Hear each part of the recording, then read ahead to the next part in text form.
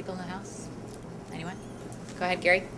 Given shyness, I'll. uh, I'll Yes, that, that's why, you can, I can always count on you. Uh, uh, But it's uh, more of a uh, comment than a question, I think, but I'd be interested in your response. I'm Gary Filerman with Joint Commission International, and um, I couldn't help but think, uh, with some of the references to regulation, for example, that uh, there's a real potential here that's not been put on the table for uh, thinking about uh, institution-level regulation, if you will, accreditation in some form, uh, that is some orderly process of setting standards. We know that a lot, if not most of this technology is concentrated, consumed, expended at the institutional level.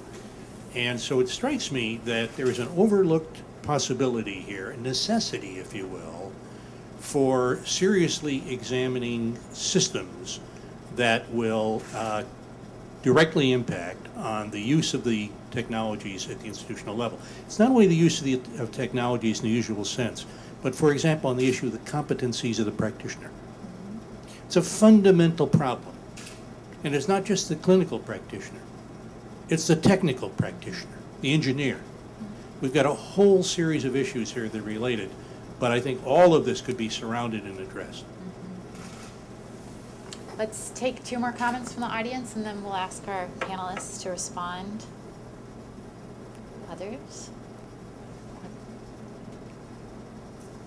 Uh, I'm Embry Howell from the Urban Institute, and um, particularly for the Americans, uh, you, citizens of the United States, which I guess a lot of us are, uh, we just we have the Affordable Care Act, um, and it was explicitly written into it that the findings of the new agency that was going to be set up to do essentially technology assessment could not be used for cost effectiveness purposes to rank procedures. So I'd like for people to comment on the feasibility. We're surrounded by our neighbors now who are moving in a certain direction. Is there any chance that the United States would move in the same direction politically?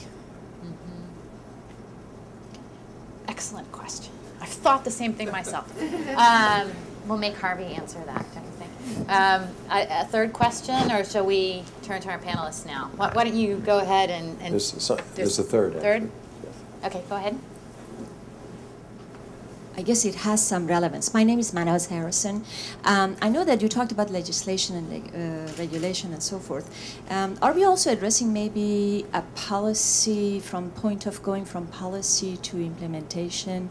Um, I'd like a bit of um, light to shine on that one because these policies are adopted, but then where do we go about seeing into what are the gaps um, between policy having been implemented, adopted, Yeah. but not implemented, and then what happens? Thanks.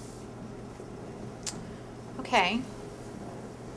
Dr. Roses, would you like to comment uh, first? I think that, uh, of course, you know, the, the uh, assessment includes uh, also the competencies and the, the human resources. This is one of the things that is more challenging right now because uh, I think that is very sad, even with the investments, uh, even part of the debt, you know, uh, acquired by some of the countries with loans and so on to build facilities. And then, you know, to acquire technology is not accompanied particularly for two, uh, by two other important resources, the financial resources for the recurring cost of functioning and the human resources. and therefore you have the infrastructure and the technology, but you don't have, you know, the, the, the, the possibility, and this is most of the times uh, overlooked. So uh, we, we pay a lot of attention. But I think that is combining with the policy to implementation. Well, the nature of our organization, you know, is that we accompany the whole process. Uh, so we we have been around for 110 years, so it's very difficult, you know, to when someone issues a report or so, if you don't have that history, and we are present in every country, and therefore uh, even the approval of the policy in many occasions has taken 10 or 15 years of discussion. So you know, Yeah. and, and looking for the opportunities and uh, discussions at the parliamentary level, including for the budget, uh, but also for, as I mentioned, uh, the judicial system, which not always, you know, has been on board on some of these things, and, and of course is now therefore uh, uh, the problem. But I think that they also have the possibility to become part of the solution. So it is really uh, uh, a combination. On accreditation, i again, you know, is the way our organization works. I think that uh, we have restrained, we don't have a mandate to accredit anybody from a school of medicine to a technology. So what we have to do is uh, uh, uh, improve the collaboration among the countries, among institutions, to identify different ways of uh, shared accreditation. Some of them by through reciprocity may adopt, you know, Mhm. some of the uh, and, and shared, you know, and and uh, uh, move along. But also uh, the way we have been working in terms of uh, the certification of the regulatory agencies in the region, which is a, a, a very active process right now, uh, is uh, uh, through South-South cooperation, but also in defining a common set of criteria that all the countries agree are the critical ones, and these will be like the checklist, you know, for the process of certification, and they participate jointly. So, for instance, if we go for a mission to certify the the regulatory agency in Brazil, there will be people from the US, Canada, Mexico, Colombia, even other region, you know, or the European uh, uh, regulatory agency, because also this is a world, a globalized world, and the goods and services move around, uh, that we have to bring, you know, a certain common set of criteria to the industry, but also we need to uh, uh, be sure that we provide the public with the reassurance that these decisions are not biased.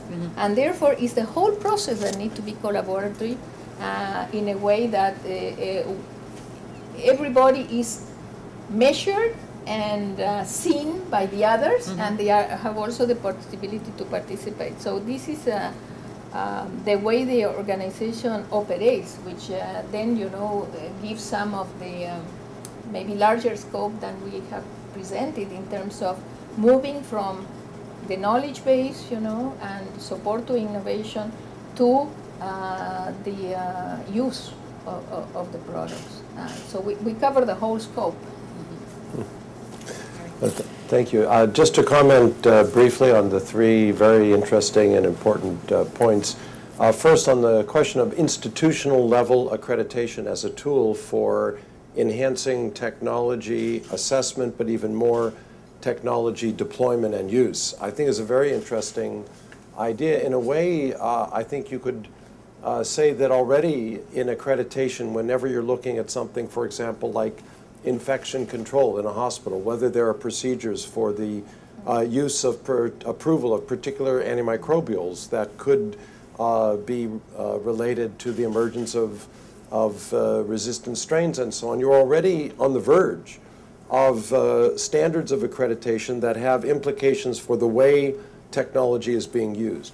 What I think is very hard would be for accreditation level decision making about an institution to be expected to carry through all the way to uh, every important consequential choice that a professional will make within the institution. Uh, what we do see, of course, is that those institutions, not by virtue of accreditation, but by virtue of organization, culture, and incentives, for example, the prepaid systems, where uh, you have a managed care responsibility, you find very different patterns of technology use compared to the fee for service uh, systems, which are designed to reinforce volumes of service. So, uh, institution level intervention, I think, could be very influential, accreditation to a degree, but I think it will take more than that. So, uh, very interesting uh, point to raise in terms of technology. On the second uh, question, uh, in the Affordable Care Act, there is established the entity called the Patient Centered Outcomes Research Institute, which is intended to do comparative effectiveness. It is directed not to look at cost. Uh, I would have to say personally that seems to me a deficiency in design of the uh, of the provision. And over time, I would hope that uh, as a nation in the United States, we would be able to come to grips with the question of cost as well as uh, efficacy and safety. All have to play a part uh, in decision making. So uh, right now, I would agree that there are opportunities that we're beginning uh, in the U.S., but in the uh, current model, we're not adequately utilizing all the available information to guide sensible choices. And that's uh, something that we have room to improve on. Uh, on the third point uh, about the importance of moving all the way to implementation, isn't it really uh, the implementation side that makes all the difference? I agree completely. A any of our policies, practices, organizations that stop short of translating into actual practice and what happens have failed in their opportunity, if not their responsibility. So uh, I think you've raised a very important uh, point for uh, design and uh, management of all of our uh, systems intending to make technology better used for the improvement of health. Okay, go ahead. Uh, I'm Mindy Reiser. I'm a sociologist. I evaluated some health and professional, I'll start again. Uh, hi, I'm Mindy Reiser. I evaluated health and professional education programs in Central Asia and the Caucasus. And my question has to do with technology for education for healthcare professionals. One of the challenges is there may be priorities for training for maternal and uh, child care, um, medical people, nurses, physicians.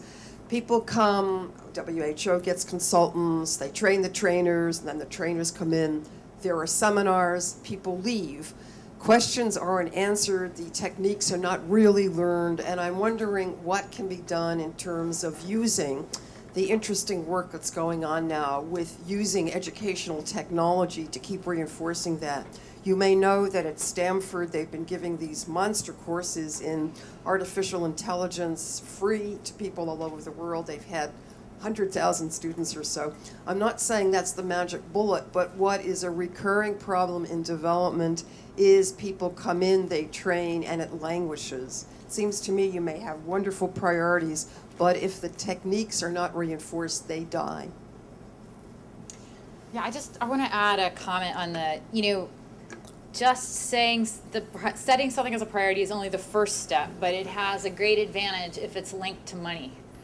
Because if you say what you'll pay for, then you know what to measure afterwards. So that that's why we talk about upstream priority setting. But one of the very important limitations of this area is that it's not you know adoption it's not deployment and use and that's why tracking and evaluation of what happens is so important and whether you know you really have all the things in place to actually be able to deliver the technology um, that's approved um, Alexandre, would you want to say something? I wanted to ask you a question. Alexandre is the lead person at PAHO working on Redetsa, which is the new network. I, could you say something about um, the two things you'd like to see Redetsa accomplish by the end of 2013?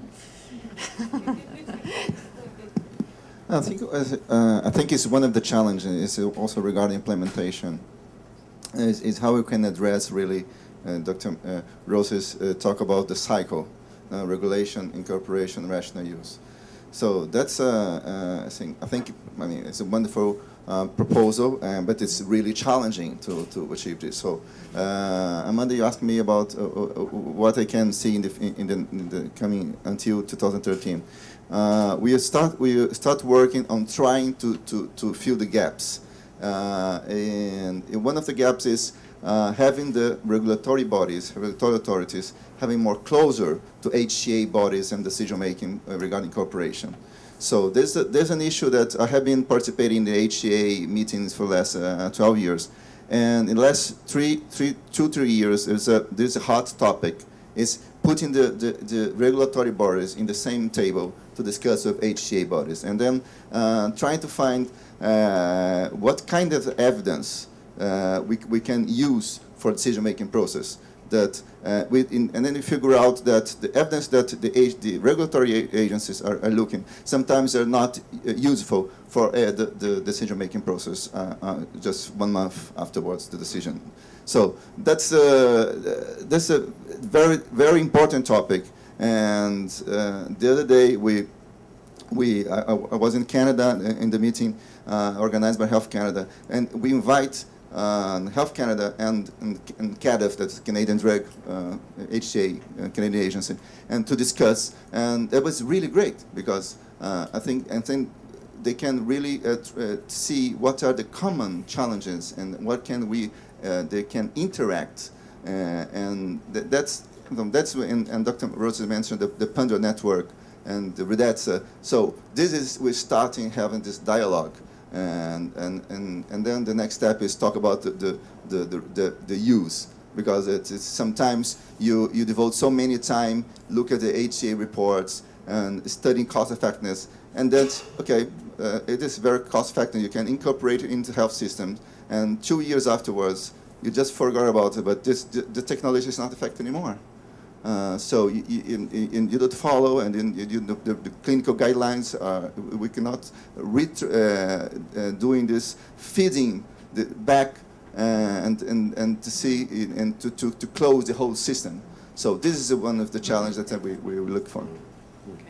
I mentioned one, but I think it's a good, it's, a, it's a huge one. That's no, but responding to the to the educational technologies, well, you know, 10 years ago, the region established, PAHO established uh, with the support of the countries, the virtual campus on public health.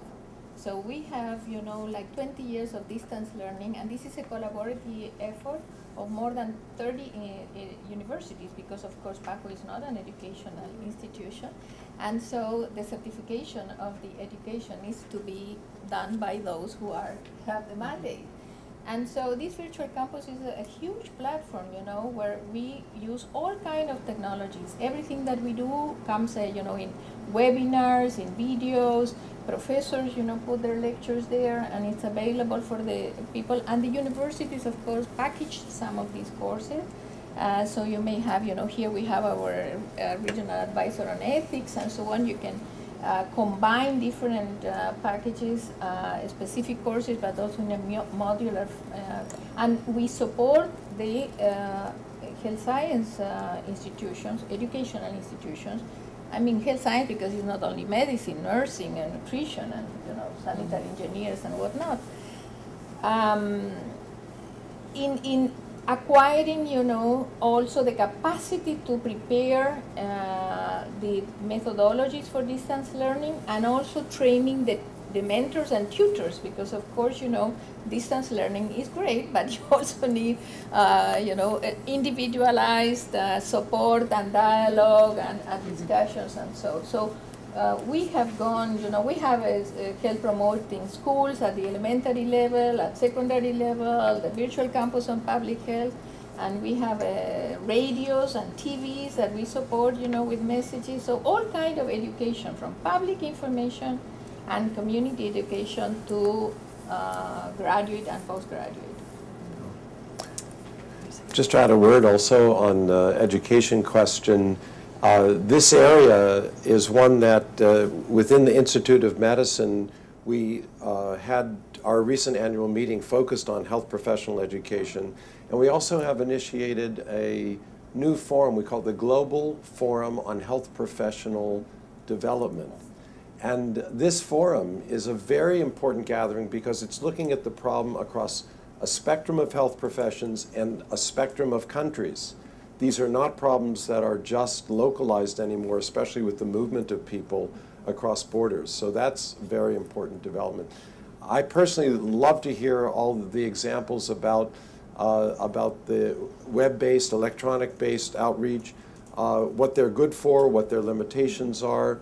I can tell you, uh, uh for example, another example, Amanda's uh, alma mater uh, recently joined with MIT the program called edX, which is a uh, co cooperative higher education, not simply materials, but full courses being uh, put forward.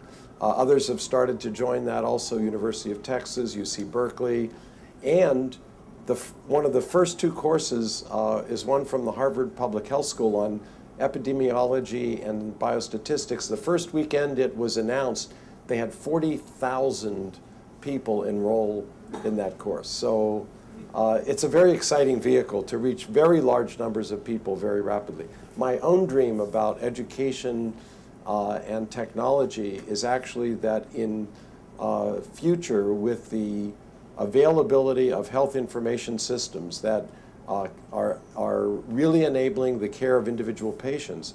They'll be linked to decision support systems, to evaluative information, and to real-time relevant education. It won't be that you'll take the course about the patient you saw eight months ago.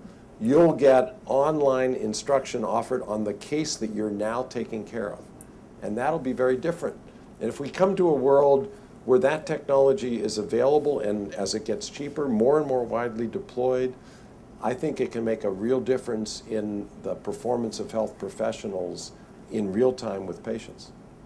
And, and there's another piece, you know, that I think that is complementing what you said about uh, uh, education in incorporation of the technology uh, and also the health technology assessment is all this movement of e-health mm. and telemedicine and so on. Because, you know, the fact is that we tend to see these things in isolation, but mm. they are very important because they all contribute, you know, to make a, uh, the, the, finally the results we expect. Mm -hmm. It's not one that will suffice. So that's why you are asking you know, about the different pieces.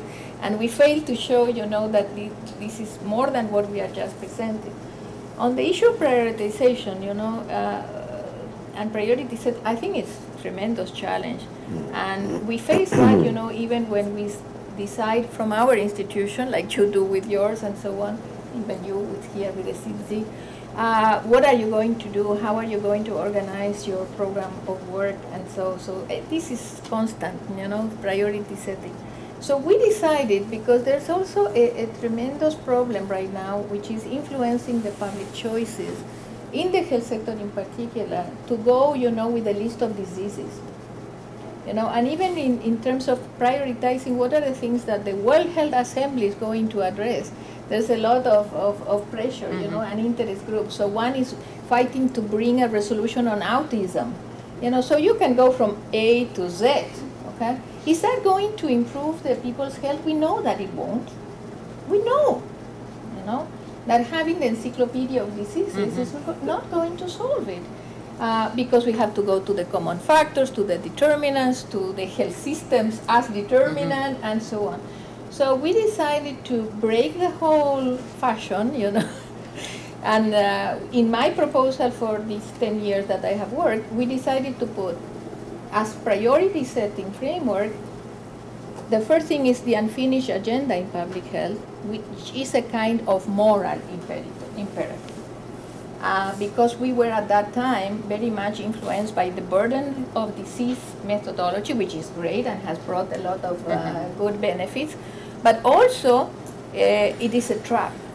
Because then, you know, those who are living with leprosy, which are 0.1% per 1000 mm -hmm. you know, are you going to leave them? Are you going to live, you know, with these biblical diseases and so on, where we have all the technology, the knowledge, the cheap interventions and everything just because they don't weigh into the population health? Well, this is a moral thing. So the unfinished agenda is important and you have to look into that. Then the protection of the achievements, because in health, it is so important to look at these minor issues, you know, that are mm -hmm. in the society that you have to close the book but also looking at the scenarios and trends. But you need to protect your achievements because it is incredible how you can go backwards. Look at what happened, for instance, in the famous report from the World Bank, you know, dying too young in the Soviet, former Soviet uh, Union. I mean, you can, it's the only time when the uh, a huge population went back five years of life expectancy with no war. Huh? Mm -hmm. And so I think that uh, and the final uh, block was facing the challenges, know, and so we started there looking at non-communicable mm -hmm. diseases and so on. So I think that we have to innovate also mm -hmm. in mm-hmm. what are the criteria of priority setting. And there's no one criteria, it depends on the nature of this chair you're, you are sitting mm -hmm. You know, if you are in a hospital, it won't be like PAHO, of course, you know, and even PAHO is not the same as the World Health Organization. but I think that, and the IOM is not the same as the CGD. But you have to be innovative also in priority setting.